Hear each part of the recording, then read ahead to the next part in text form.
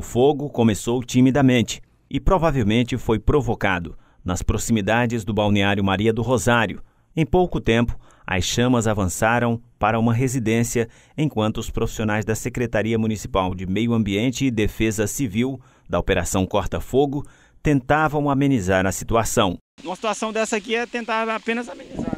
Né? Amenizar, que o carro maior está em atuação lá na Vila Paraíso. Tá em outra ocorrência também. Né? Exatamente. Em pouco tempo, o Corpo de Bombeiros, que estava chegando do atendimento de outro incêndio na Vila Paraíso, iniciou os trabalhos para evitar que o fogo atingisse outra residência.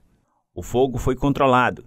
Em seguida, esta mulher chegou chorando ao local e pedindo ajuda, pois as chamas já haviam atravessado a BR-316 e ameaçava outras residências.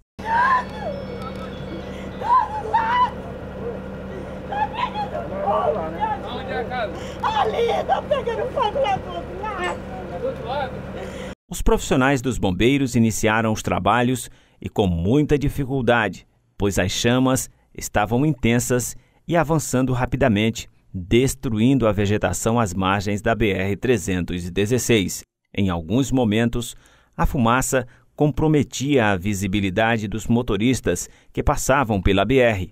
Por sorte, ninguém ficou ferido.